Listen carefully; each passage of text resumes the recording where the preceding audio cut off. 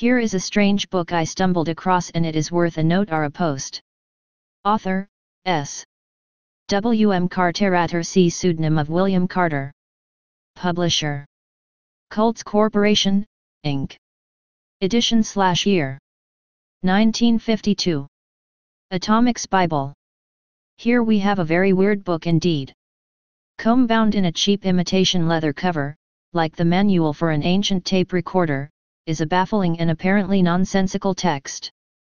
Whoever the mysterious W.M. Carterator C. was, either he was a talented beat poet who disguised his work as the ramblings of a crazy person, or he was a crazy person. I favor the latter. Here's his prefatory statement, a sort of manifesto.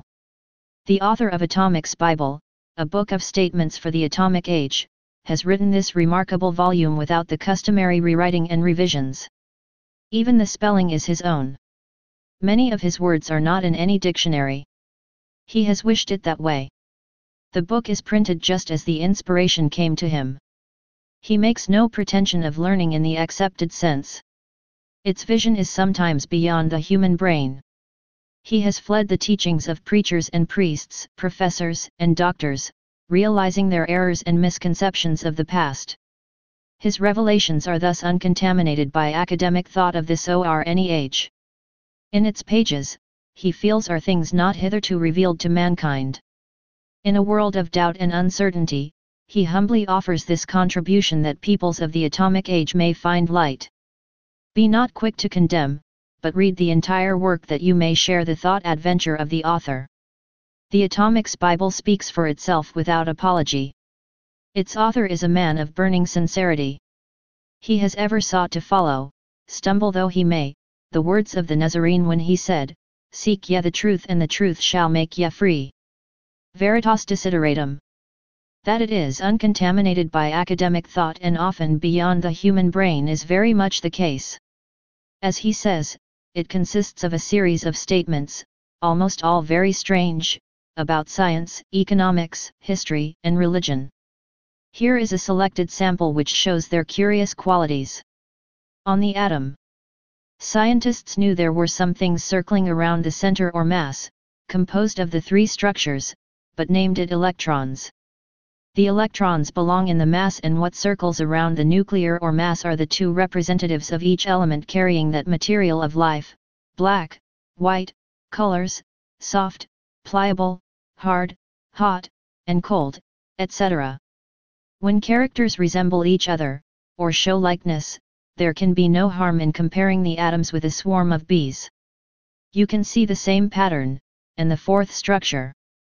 In a swarm of bees there are the king, the queen, and the drone, which makes up the mass or nuclear sick, the working bees, or the representative, fly around creating magnetism or capillary attraction, which carries them to a new home you can take an acorn apart and see two of its structive sick components, the hull and the kernel. You know there are the three components in all, the third being the life-giving image of the kind of oak that acorn will grow. Then that image has to come from the atom, so we shall study the atom parts and find the life-giving image within the atom. So life constructions are by the images carried in the atoms. Now we have shown that the atom does carry an image of the life which disintegrated to elements and then to atoms. Now to make an image in the atom there would have to be life, energy, and material, now the atom from the hottest elements, radium or uranium must make life, fire and electricity. The atom from the coldest elements when stored together makes dry ice. Other atoms construct the colors, etc. On history. The power meant some kind of global conspiracy, like the Illuminati as masterminds were teachers and taught all how they were saved from slavery till they set up Christian religion, and by the 10th century the world was enslaved for the second time. This continued till the 14th century, when life became so unbearable by favoritism to the weaker sex, that the people again took sticks and stones and fought a 200-year war to become free again. During this war ingenuity began to be recognized, and prophets' versions were noted. In the midst of this war the Western Hemisphere was sought, as Jews were persecuted, some of them with followers set out and did set up the New England states.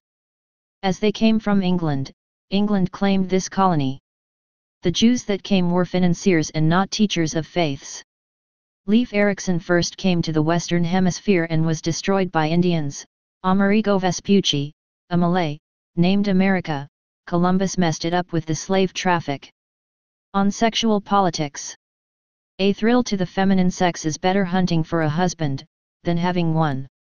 Many a wife, not having the brass to sue for a divorce, or if she is in a state where she cannot produce grounds for one, soon becomes habitual to reading those divorce novels which harden her affections, and her love is cold. She becomes quarrelsome and irritable. This causes the husband's sexual brain cell which operated the sexual nerves to cease supplying the feed for the semen germ. These germs have to be fed, or delivered. When the husband hasn't the ability or grit to find other love or affectionate care, he soon is attacked.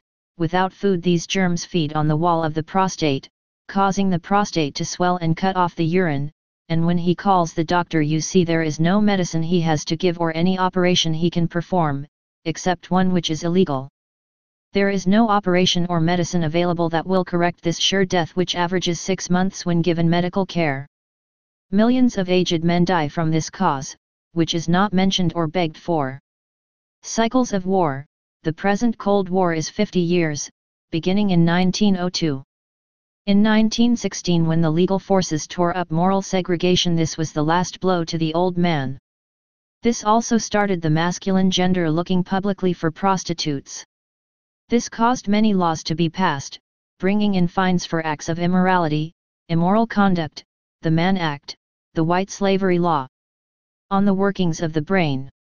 To better understand the human body, you will have to understand that it is made up of many systems. The main one is the nervous system, which includes the brain center. It is in two forms, the conscious brain and the subconscious brain. The subconscious brain is a storehouse of cells which cannot be used by mental exercise. The conscious brain acts similar to a mirror. It reflects thought and sustains a reflection according to the severity of the impression. These impressions are known as recollections. Regardless of the severity of the impact, the recollection becomes eradicated within three years if not rehearsed. But if rehearsed so as to be sustained, then the sense becomes inset, and so on until the fixing reaches insanity, which cannot be eradicated. These examples are typical of the delightful battiness to be found throughout. It is a gem of oddball writing. As a final treat, I leave you with this charming picture found opposite the title page, illustrating a no doubt important, yet never explained, festival, Cults Day. Stay paranoid my friends.